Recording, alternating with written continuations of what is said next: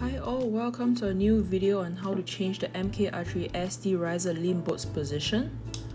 But before that, please do remember to subscribe to our YouTube channel and follow us on Instagram and Facebook for more contents.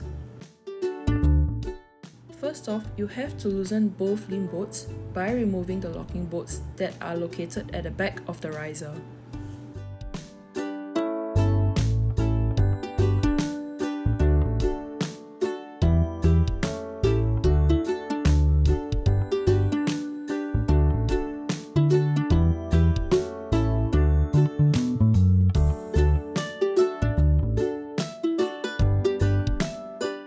Next, remove the stabilizer mounting bolt, which is the one in black, and move the weight and tiller adjustment bolt, which is the silver bolt, to the position B, which is also the inner limb bolt position.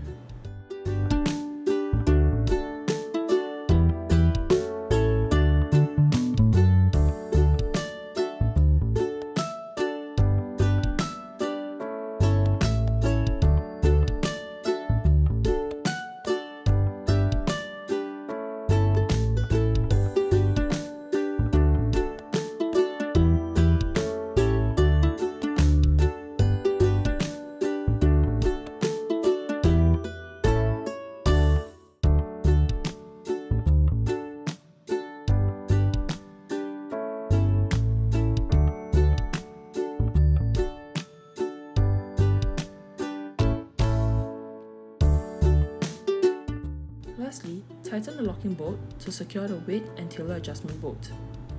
And there we have it. Now we can use our formula limbs on our MK Archery SD riser.